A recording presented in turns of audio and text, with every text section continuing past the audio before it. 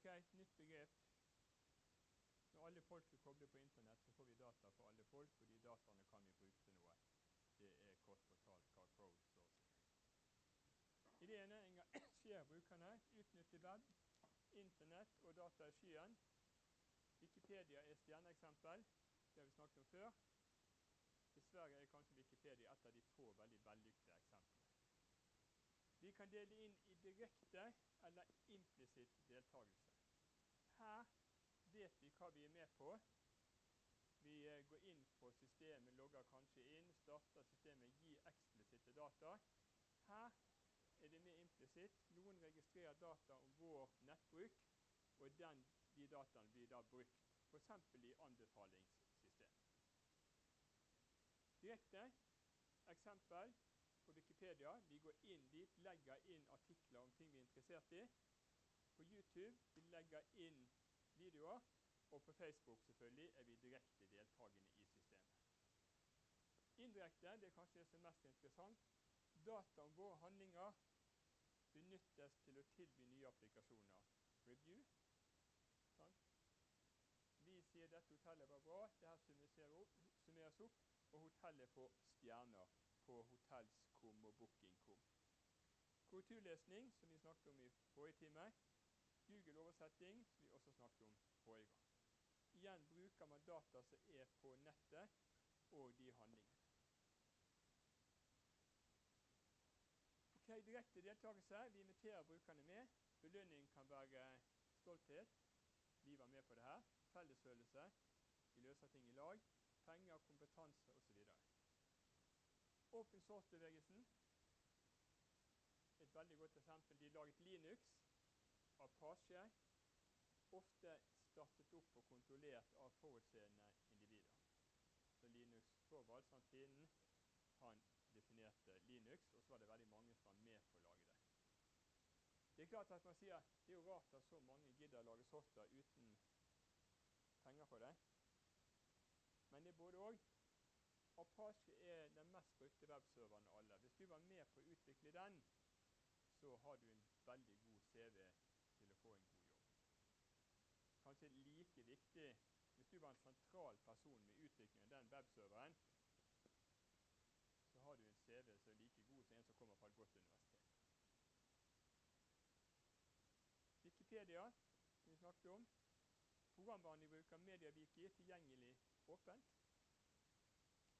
eBird, fugletitt over hele verden kan registrere observasjoner, legge inn bilder osv. Det funker fordi at det er folk som er utrolig interessert i fugler. Og så når de observerer da en sangsvane som ikke skal være der, så tar de bilde, legger det ut hit, rapporterer, forteller om funnet osv. Det der er Du bidrar, og så får du mye igjen. NASA har et Clickworkers-prosjekt der ideen var å rekruttere frivillig til å identifisere krateret på Mars. krever selvfølgelig at problemene og oppgavene er veldokumenterte, og at alle verktøy er tilgjengelige for Var vanskelig å finne software for å identifisere disse kraterne. Setter de masse folk til å klikke på kraterne, fortelle hva mål, fortelle hvor store de er. Og selvfølgelig bruker ikke de data for deg, de bruker data for deg sammen med mange andre. Så de bruker flertallet. Hvis det store flertallet sier at her er det krater, så er det sikkert et krater.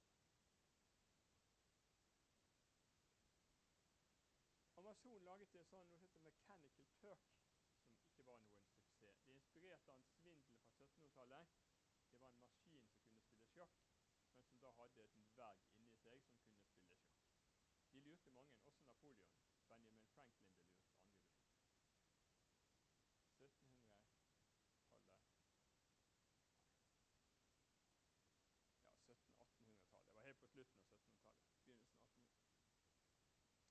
Ideen med Mechanical Turk er å tilby oppgaver, uformaliserte oppgaver som ikke kan utføres av datamaskin.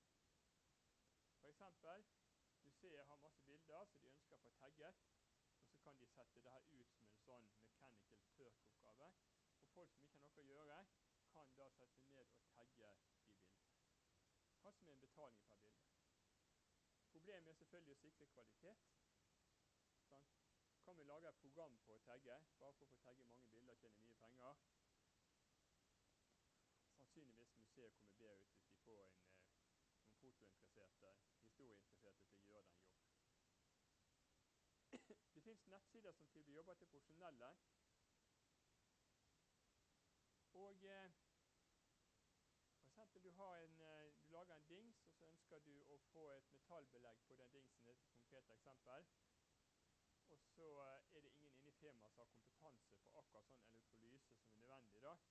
Og så setter du det ut, og så sier det ok, den som får til det her for 25 000 dollar. Og så er det en som er ekspert, som ikke har en fast jobb, som tenker det her skal jeg meg på, og lager da en metode på å få dette metallet på denne dingsen. Problemet for firmaet blir igjen å evaluere metodene. Hvilken metode virker, hvilken metode virker ikke. Det kan hende de bruker mye mer tid på å evaluere enn på å lage. Men det er noen gode eksempler her. Passer best for problem som har en helt klar løsning, en formalisert løsning, og så for å unngå å bruke mye ressurser på evaluering. Så det må være slik at du veldig fort kan se om det her er en løsning eller ikke. Tagging av fotografier, Flikker, Instagram kan gi grunnlag for å finne fram til aktuelle foto, og dermed til salg av foto. Så eh, Jeg var ute og lette etter noen bilder av noen fjell. De var der i og jeg tenkte jeg skulle finne finværsbilder, men det var ikke så enkelt. Men igjen er det forferdelig mange ting å ta foto av, og det er veldig viktig at du har god tagging, slik at du kan søke på navnet på det fjellet. Men vi var villige til å betale en del for å få tak i det bildet, men vi fant aldri et bilde som passet. Og det er selvfølgelig litt for at det bør bildet på riktig vinkel, og så bør det være bilde i riktig lys, og så må det bildet være tagget. Men jo flere som tagger bilder, jo lettere kan det være å finne frem til. Dette her er mer interessant. For vi har jo begrenset tid, og det er ikke så mange som har lyst til å jobbe veldig mye gratis med å gi inn eh, legge inn ting på nett. Eh, men eh, dette er mer interessant. Når vi gjør noe, så blir det registrert. Og så får vi kunder som kjøpte denne boken, kjøpte også. Netflix, som vi nevnte forleden, hadde en million dollar-konkurranse for den som klarte å forbedre deres anbefalingstjeneste. Så for Netflix er det verdt en million dollar å få en noe bedre anbefalingstjeneste. De får mer treff. Det er jo klart det, altså. Jeg har jo problemer med at eh, jeg ser en del film. Men hva er en god film? Vel, du kan ta de filmene på høyest ranking. Jeg kjøpte de ti filmene som har høyest ranking på IMDb-databasen. Noen av de har sett før, de var gode, men de andre kjøpte var bare dritten. Så jeg er åpenbart uenig med resten av verden. Så her er det ting å hente. Jeg syns jo de anbefalingssystemene som jeg ser til nå, ikke er gode. Problemet er Og det gjelder bøker, film, musikk, hva som helst. Hvis vi tar en film som denne personen her liker det betyr ikke nødvendigvis at denne personen her også vil like den filmen. I så fall vil alle like bestselgende filmene, men det gjør man jo Og lastet ned de ti mest de filmene som har høyest ranking, så var det sagt mange av de filmene syntes jeg var Jeg gadd ikke engang se hele filmen, så dårlig syntes jeg de var.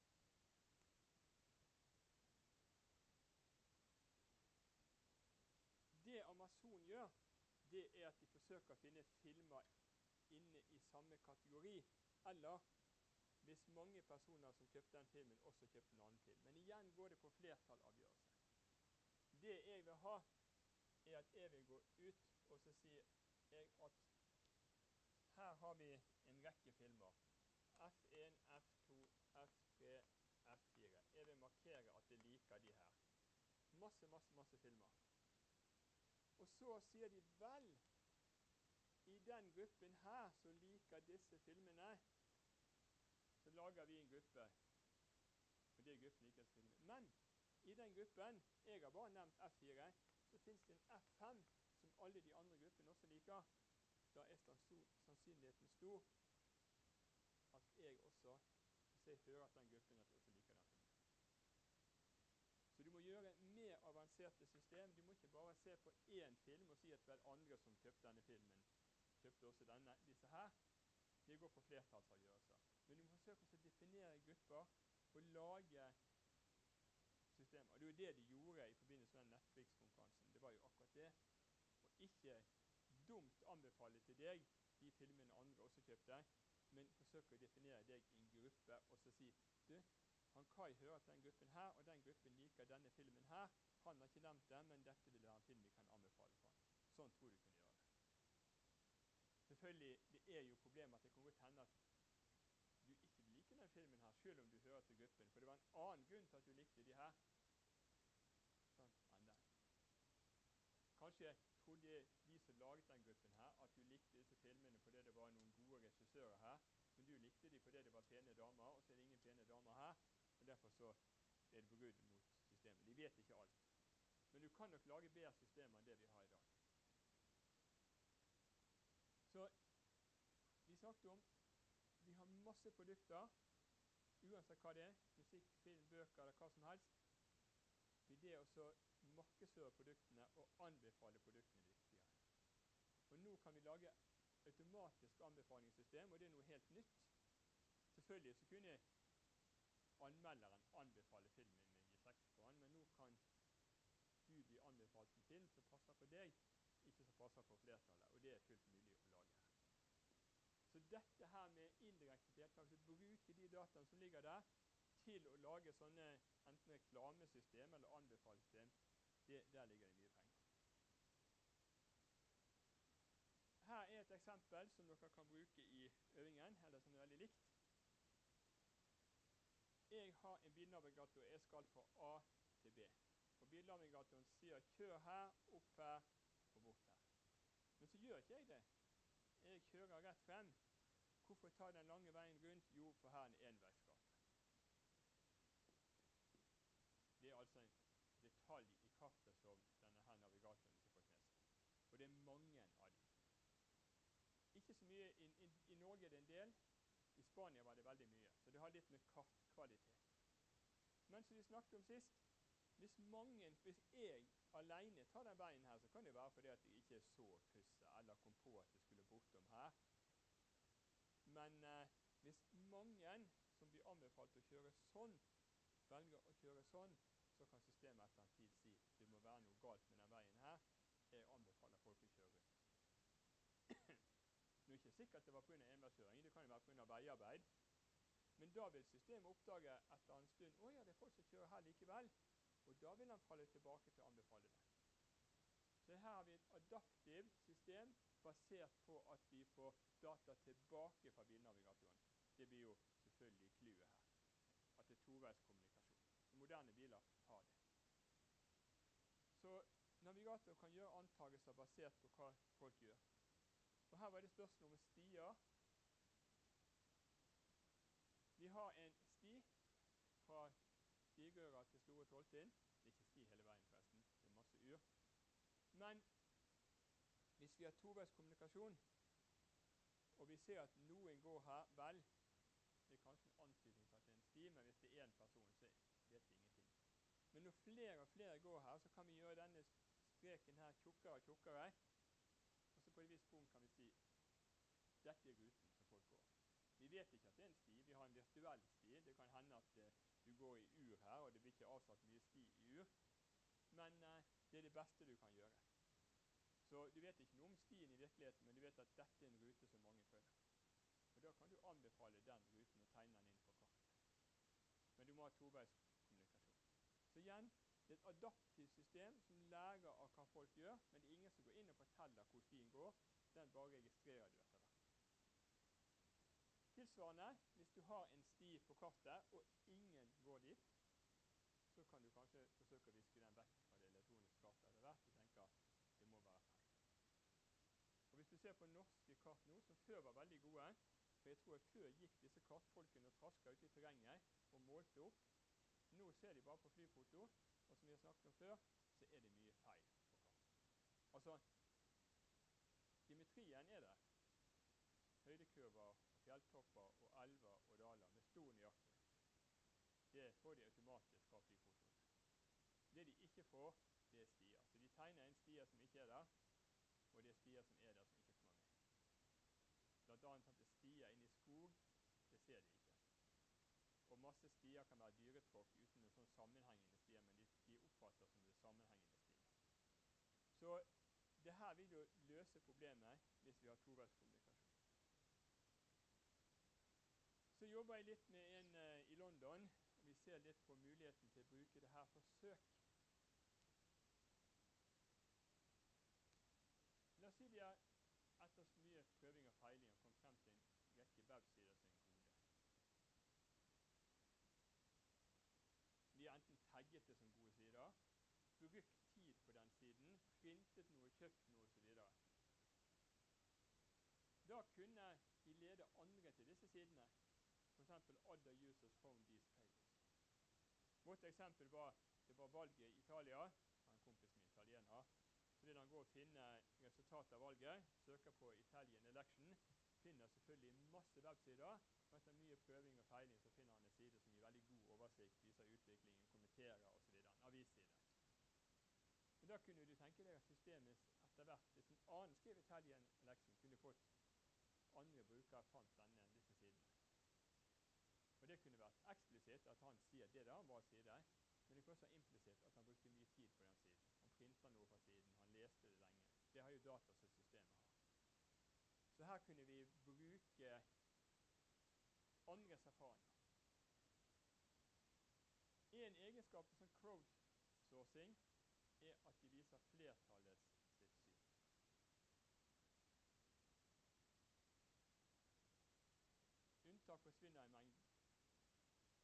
I hadde en fordel. Sære synspunkt ignorert, og det er en fordel når vi skulle bruke data fra andre til å uh, registrere finne trykkfeil i, i programmer, men det kan også være en ulempe.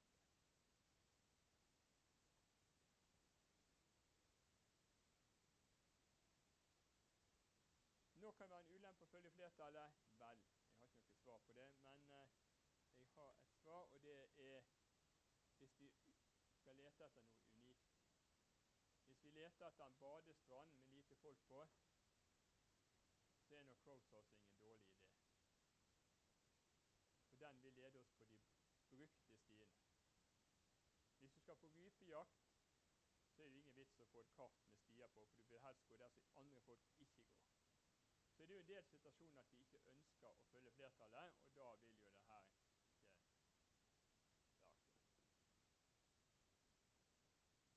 Det som ikke er diskutert her, som har kommet opp i det siste, det er sånn eh, finansiering via sånn crowd-tjenester. Hvis du har en veldig god idé, så går du til banken og skal ha 50 millioner, altså så sier banken nei, jeg tror ikke det er for usikkert. Så kan du gå på eh, nettet på sånn crowdfunding, og så kan du beskrive ideen, og så kan du håpe at folk gir noen hundre dollar her og hundre dollar der.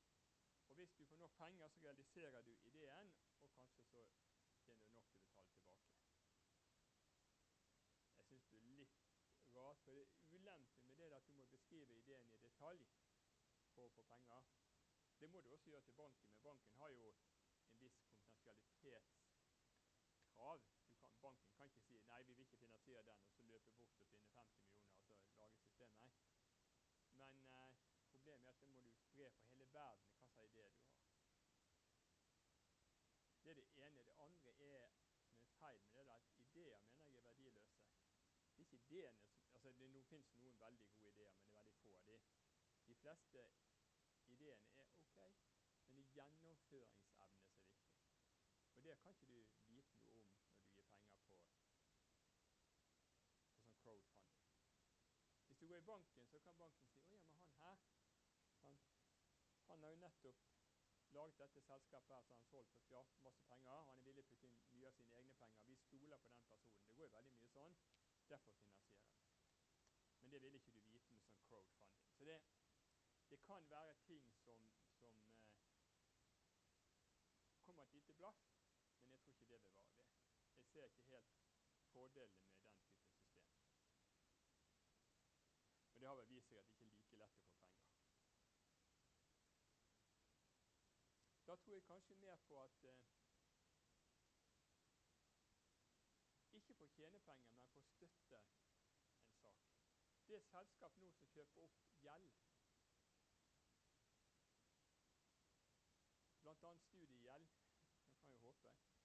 Eh, I USA så er det veldig mange som har studiegjeld og ikke jobb. Og det er klart at det er jo et uføre. Du tjener ikke nok til å betale ned gjelden.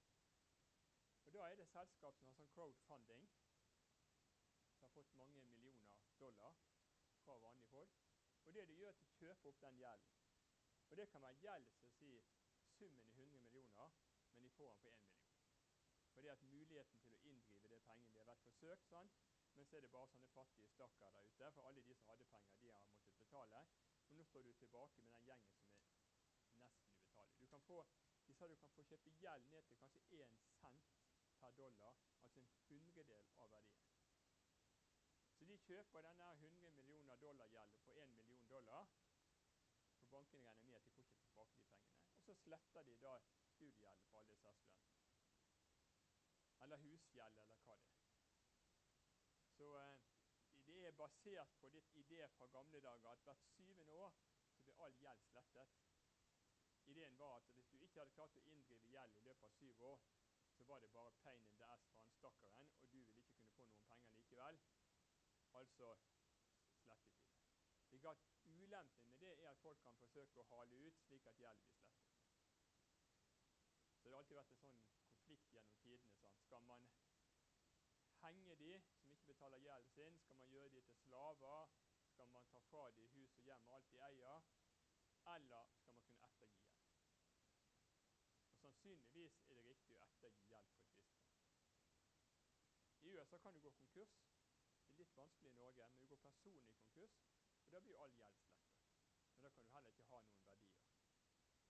Men det er klart at hvis, du, hvis noen har lånt deg penger som du på en eller annen måte ikke klarer å betale tilbake, så har kanskje vært gjort en feil i lånevurderingen en gang i tiden, eller noe har skjedd. Og da Istedenfor at du skal sitte med den gjelden livet ut, så er det da snakk om å slette gjeld. Og Det gjør de ved hjelp av sånn crowdfunding. Og det har jeg tro på, for det er mer snakk om en sånn politisk ønske. Det er noe som heter Kiva, som også er sånn crowdfunding.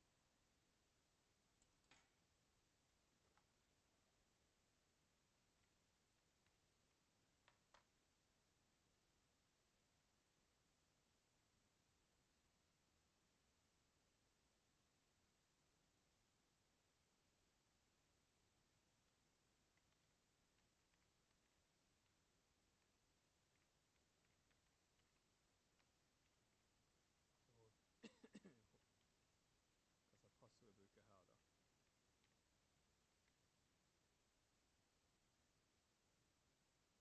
Ja, jeg gikk på Oi, jeg har 584 dollar i outstanding loans. Og så har jeg 195 som jeg kan donere. Og det her er altså et system for å gi lån som mikrolån til fattige stakkarer. Fishing, recent closure, jeg gir bare til alt som med fisk å gjøre. Det ga jeg til han der stakkaren der nede eller hvor det er. Jeg skal gi lån. Eh, reline credit her. Og så vil jeg søke, og så søker jeg på fish. Fishing. Der, ja. En som har fiskebåt. Så kan jeg eh, Land, land, land. Ja?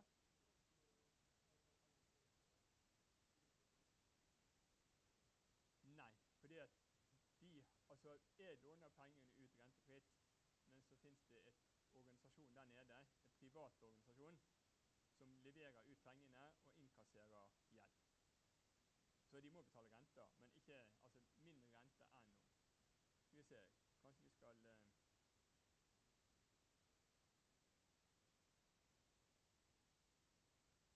kan jeg gi hun 100 dollar, eller låne 100 dollar til henne. De kommer tilbake, skjønner du.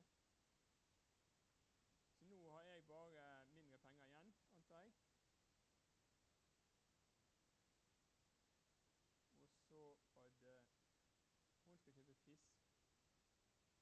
Filippinene det er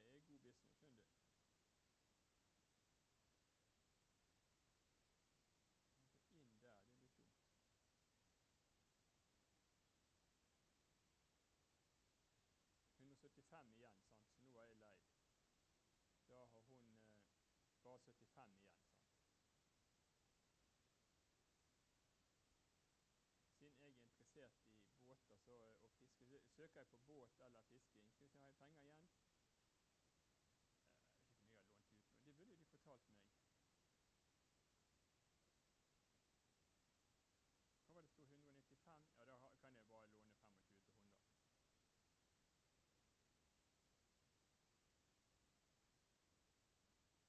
My basket. Yes. Da har jeg lånt ut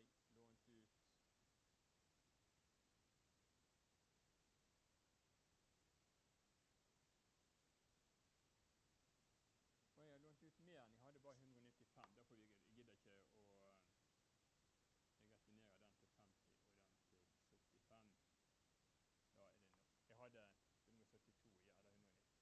Continue.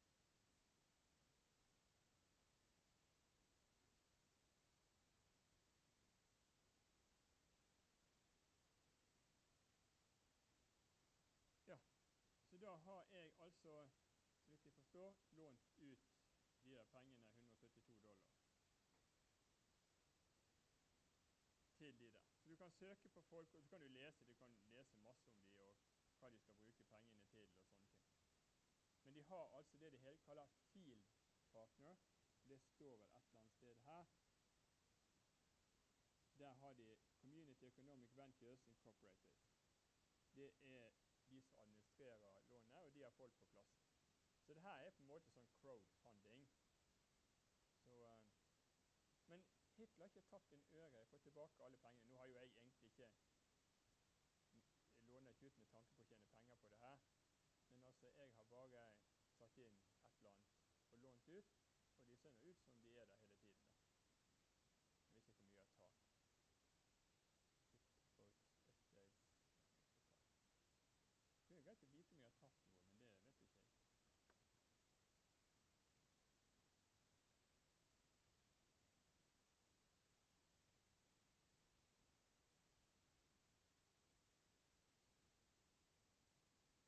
98,8% repayment rate.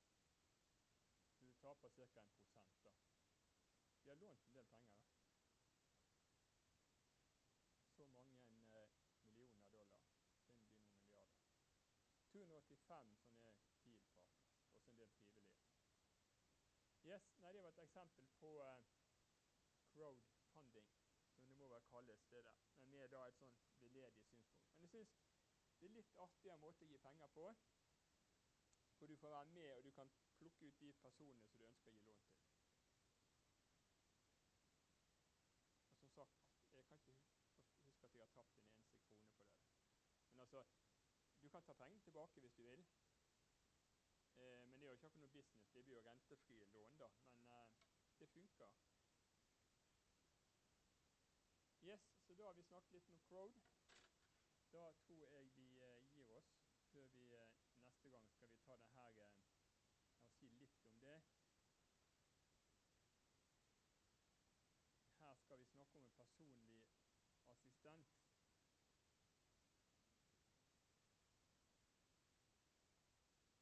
Det står det i boken i kapittel 63. Vi har skrevet en del artikler og laget noen eksperimenter rundt det her. Samarbeid med Universitetet i Madrid. Yes, det tar vi eh, neste mandag. Vi bare noen få kapitler igjen, så vi gjør snart ferdig.